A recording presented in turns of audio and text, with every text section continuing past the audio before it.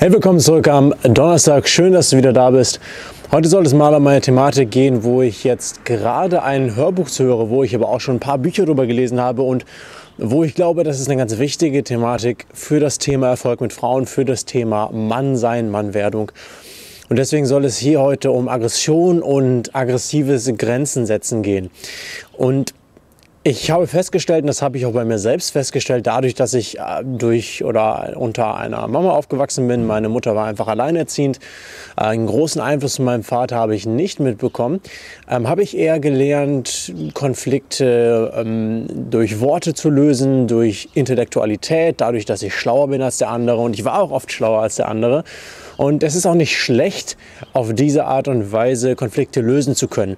Was ich aber gemerkt habe, was mir immer gefehlt hat, und das ist auch ein Riesenproblem im Umgang mit Frauen, ist die Fähigkeit, Konflikte auch als Konflikt zu lösen, also wirklich auch ähm, Grenzen aufzuzeigen und notfalls diese Grenzen auch körperlich zu verteidigen, wenn es denn sein muss. Und ich glaube, Männern, die die bereit oder denen die Bereitschaft fehlt, das durchzusetzen oder das umzusetzen, mh, fehlt so ein gewisser Biss. So das gewisse Etwas, wo die Frau sagt, das ist das, was den Mann als Mann ausmacht. Ähm, du kennst vielleicht diesen Satz so, ja, es, irgendwie, es gibt keine echten Männer mehr oder man will einen echten Mann und ein echten Mann zeichnet eben auch ein bisschen aus, dass er bereit ist, ähm, seine eigenen Grenzen zu ziehen und seine eigenen Grenzen auch zu verteidigen. Gegenüber von Frauen, gegenüber von anderen Männern.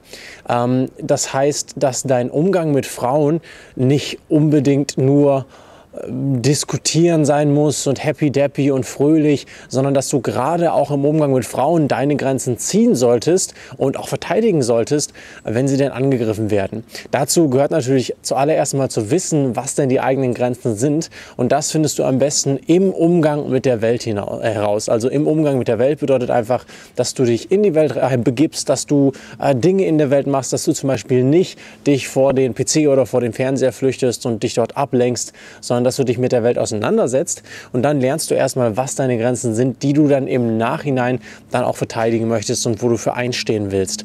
Ähm, es geht auch um einen gesunden Umgang mit Aggression. Ähm, es ist ja so, dass in der heutigen Gesellschaft Aggression oft als negativ dargestellt werden. Ah, Aggressionen sind schlecht und das ist alles nicht gut, das ist alles was Negatives. Aber Aggressionen sind halt eben nicht nur negativ, sondern sorgen auch einfach dafür, dich gegen andere Dinge zu verteidigen, dich nach außen hin abzugrenzen. Und das hat auch was mit Persönlichkeit und Identität zu tun. Und deswegen geht es darum, eine gesündere Einstellung zum Thema Aggression auch zu bekommen. Zu gucken, hey, wo kann ich meine Aggressionen denn ausleben oder wo kann ich dieses Wettkampfmäßige, was äh, oft unter Männern gerade in früheren Völkern der Fall war. Wo kann ich das ausleben? Ja, ob das jetzt beim Fußballverein ist, wo du dann mit deinem Team gegen ein anderes Team kämpfst, da haben wir es wieder, diese Grenzenbildung, mein Team gegen das andere Team.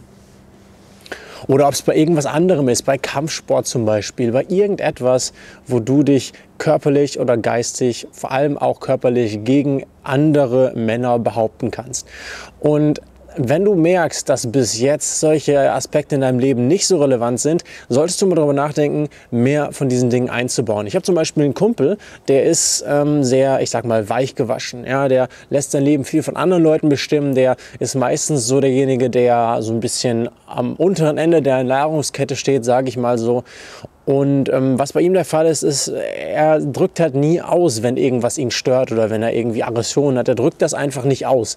Und dann, wenn wir mit ihm manchmal unterwegs sind und ähm, wir trinken ein bisschen Alkohol, dann wird er meistens sehr, sehr aggressiv Einfach weil er im nüchternen Zustand diese ganzen Aggressionen in sich hineinfrisst und die nicht ausdrückt. Und so kommt das dann wieder heraus.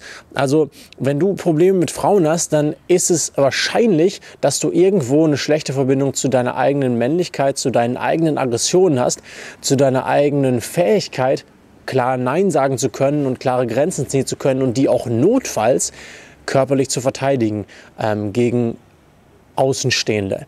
Ja.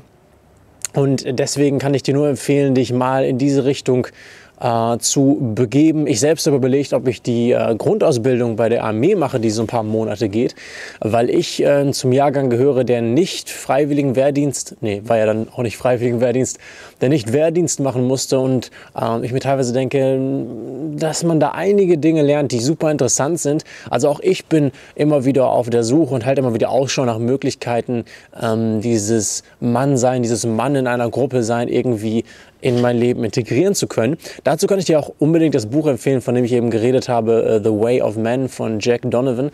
Das ist ein sehr, sehr cooles Buch, äh, was ich jetzt gerade noch am zu Ende hören bin und was ähm, ja einfach sehr, es hat sehr mit mir resoniert. Also ich habe es gehört und dachte mir so, hm, okay, ja, das, das damit kann ich mich irgendwie identifizieren, so mit den Problematiken, von denen er da redet. Also, wenn du Probleme mit Frauen hast, dann check einfach mal, hey, wie ist denn meine Einstellung zum Thema Aggression, zum Thema Gewalt, zum Thema Grenzen setzen, Grenzen klarziehen und die auch verteidigen. Ja, wie sieht es da bei mir aus? Ähm, mache ich das? Ist es etwas, was ich nicht mache? Bin ich da einfach eher so der nette Typ, der lieber alles fair und äh, ganz diplomatisch klären möchte? Oder bin ich auch bereit, mal harte Worte zu wählen und auch mal ganz klar zu sagen, bis hierhin und nicht weiter? Und diese Fähigkeit solltest du dir aneignen, wenn du sie bis jetzt noch nicht hast, denn das Leben oder andere Leute werden dich immer wieder auf deine Grenzen testen. Ja? Egal wie ähm, diplomatisch und diskutier gesellschaftlich diese, die, die Kultur ist, in der wir gerade leben, ähm, es wird immer wieder Herausforderungen geben. Du wirst immer wieder herausgefordert, deine Grenzen werden immer wieder getestet werden von anderen Menschen.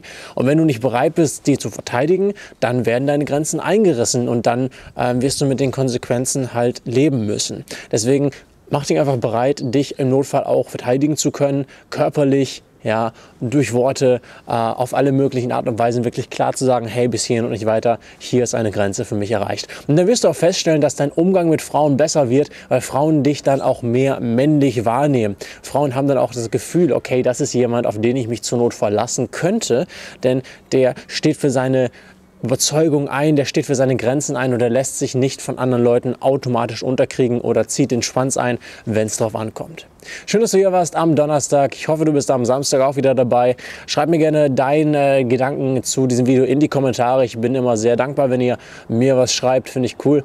Und dann sehen wir uns am Samstag wieder. Ich freue mich schon. Bis dahin. Ciao.